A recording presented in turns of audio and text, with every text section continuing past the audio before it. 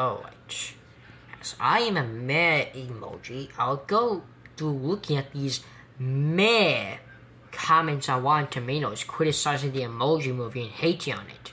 I am so sick and tired of this freaking crap where they have to hate on the film, even though there's actually good aspects of the film, and I like it. Anyway, let's read these freaking meh comments.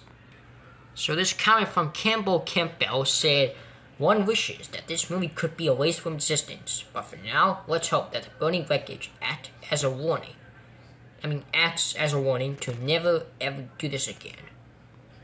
Then there's this one from Donald Clarke, who's saying the worst thing in this consistently dire effort to pick the pockets of young, vulnerable cretins is its determination to exploit the unworkable premise to death beyond.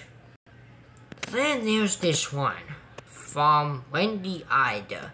Oh, Ida? I don't know. A strong palette of candy-colored empty calories and poop jokes, and a cynical message about accepting yourself and researching for emoji showing a dispirited film critic hanging from a noose fashioned from a phone charger cable.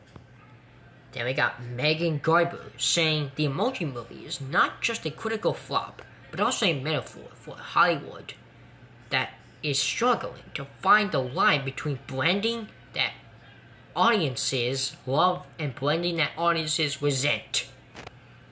Then we have this other mad comment from Jason Best. It's hard to decide what is most annoying about the cinematic botch. The ugly animation, the contrived story, or the blatant product placement, or the fact that the filmmakers spoil almost every gag by underlining it twice.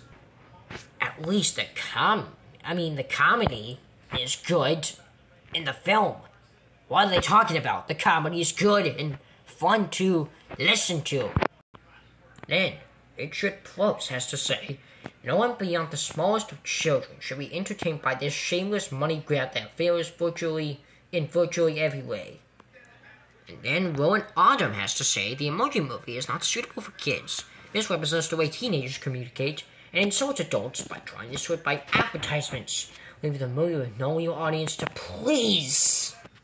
I'm just so sick and tired of this hatred towards the emoji movie. Why is it bad in your opinions? Because of the bad aspects. You need to at least, you know, take the criticism. Sorry, Bandai, but this criticism is too harsh towards me and my friends. But they're not wrong. They are fairly correct. Your film is trash. Bandai, please go away, alright? If you say one more negative thing about this film, I'm gonna go ahead and kick you out into the dimension where you get kicked by numerous reptiles. What? Look, just go. Oh, yes. Goodbye. Man, I really wish this film was actually, you know, received well by critics.